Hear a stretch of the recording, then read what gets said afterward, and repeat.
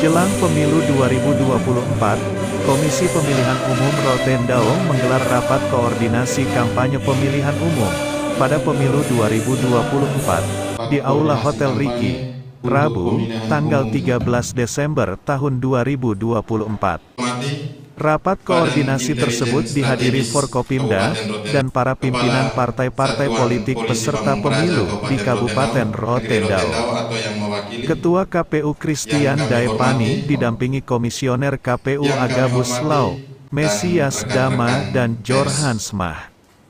Ketua KPU Rotendao, Christian Daepani dalam sambutannya mengatakan, tujuan dilaksanakan rapat koordinasi ini agar dalam pelaksanaan kampanye nantinya para pimpinan partai politik dan para caleg tidak perlu lagi berkonsultasi ke kepada KPU saat berkampanye. Ketua KPU meminta para peserta pemilu 2024 di Rotendao untuk perlu waspada terjadi pemilu resesi dan pandemi yang bakal terjadi di tahun 2024. Karena COVID sedang berada di dua negara, yang bertetangga dengan negara Indonesia. Selanjutnya Christian juga mengingatkan para peserta pemilu untuk berhati-hati berkampanye di tempat ibadah pada perayaan Natal dan Tahun Baru.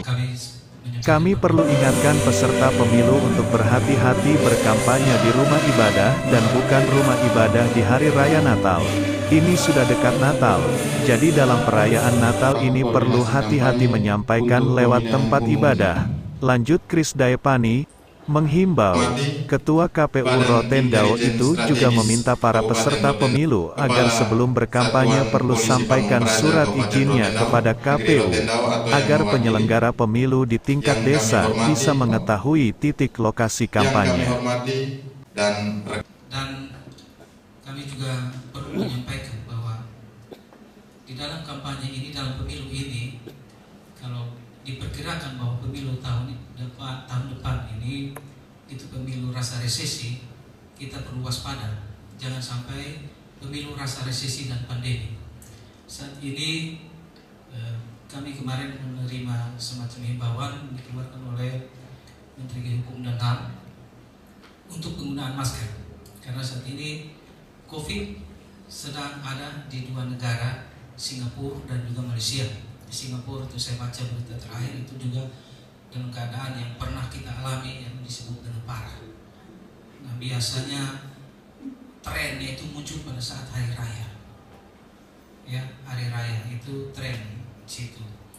Dan pada saat hari raya pun ini menjelang hari raya kita juga perlu memberitahukan kepada Bapak Ibu tim kampanye sekalian untuk berhati-hati membedakan kampanye di dalam rumah ibadah dan di tempat bukan rumah ibadah. Nanti sebentar itu akan disampaikan oleh Pak Kar.